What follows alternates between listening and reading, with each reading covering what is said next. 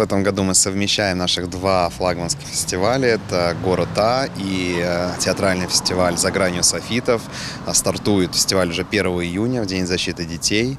А, Продлится он три дня, 1, 2, 3 июня. Основные площадки для конкурсных показов театральных работ у нас будет три площадки. Это ДК Подмосковье, две сцены, малая и большая. Это культурный центр Красногория, усадьба Знаменская, Губайлова.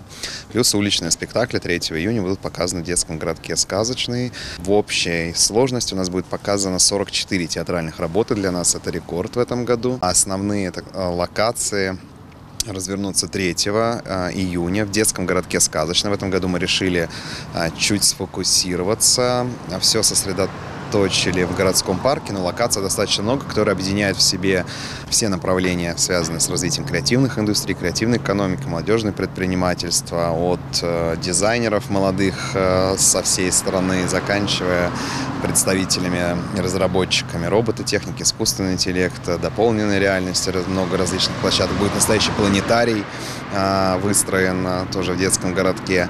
А, Одна из площадок посвящена культурному коду нашей страны. Россия – это все, что связано с народными промыслами, а, с ремеслами. То есть целый день будет идти большая программа, всем будет э, интересно, и каждый найдет себе что-то по душе, и дети, и взрослые. Вообще отдых такой для всей семьи. Конечно же, мы ждем и молодежь, потому что в рамках года наставника, педагога пройдет большая образовательная программа, в которой мы приглашаем известных, компетентных спикеров различным направлениям, которые связаны как с театральным искусством, с исполнительским искусством, с а, медиапродвижением, вообще с продвижением развития молодежного предпринимательства, своего личного бренда. 1, 2 и 3 числа показы театральные а, во всех, на всех площадках начинаются с 10 утра и заканчиваются в 19-20.00.